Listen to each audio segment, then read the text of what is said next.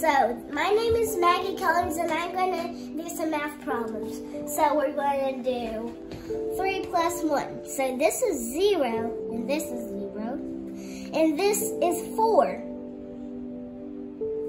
There you have it. Hi.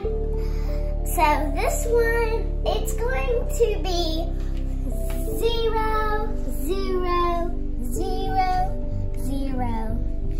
So there's four zeros and we're going to add three plus three.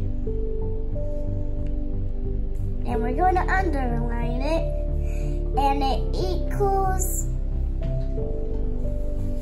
zero, zero, six. There you have it, math problem solved. This is Maggie Collins. Bye-bye.